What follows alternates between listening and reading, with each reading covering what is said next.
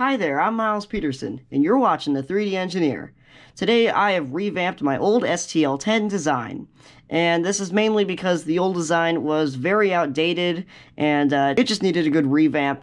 I've also done this with my miniature SD10 Siren. I have a video in the corner that you can check it out at.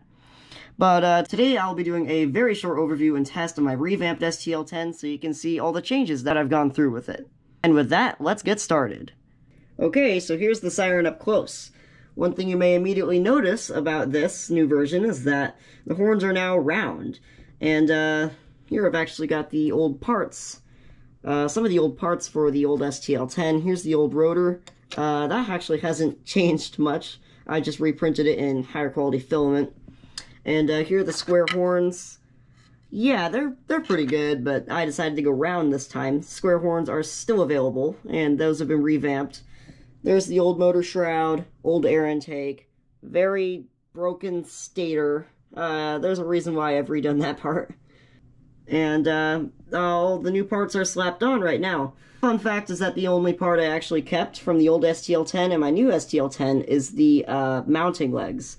So down there we have the three mounting legs with screws.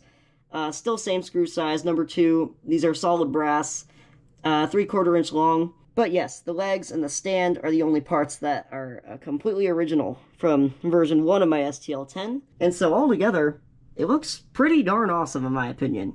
I also fixed the uh, pitch, which was a pretty big, pretty big downer on my old STL10.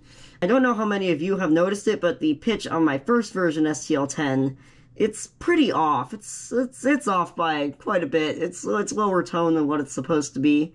Um, so with this one, I've completely removed the 1 ohm resistor inside of the motor, uh, inside of the motor shroud specifically. Uh, and I also have redone the motor shroud, if you will notice. We've got the USB cable going in, and inside of there it's hooked directly to the motor with no modification, no speed controller, no resistor. It was perfect, perfect speed. I also robbed that motor, yes, from the same uh, gear motor as before. This is a TT motor. Yes, the motor is the same. A lot of the parts are the same, and now without further ado, let's do a test. Alright, let's get to testing this thing finally. As I've said before, the pitch on this guy is very accurate with no modification to the motor. That rarely happens, but it did happen on my Model 2 and SD10, so... Yeah, these little motors, these little 130s, some of them run at, the, at a pretty great speed for these little mini sirens. The cable on my STL10 is also original from the first version, and it's a very old siren. So it's probably probably around a foot long, so I have to have it really close to this power strip in order to power it. Alright, now let's get the testing. Uh, short alert.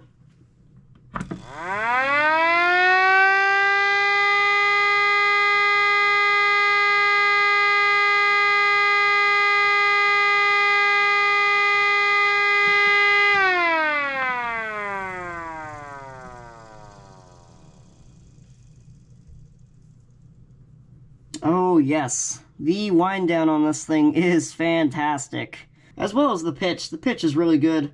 Uh, pretty happy about that. Alright, short attack.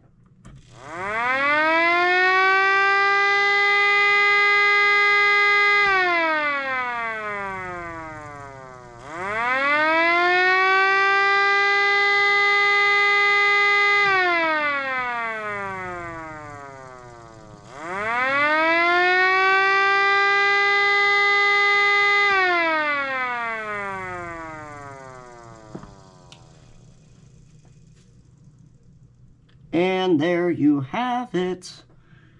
Yeah, what a what a pretty siren. You can't get more STL10 than this. Well, there you have it. That was a quick overview and test of my mini Federal Signal STL10. Uh, this siren has gone through quite a lot of changes from version 1.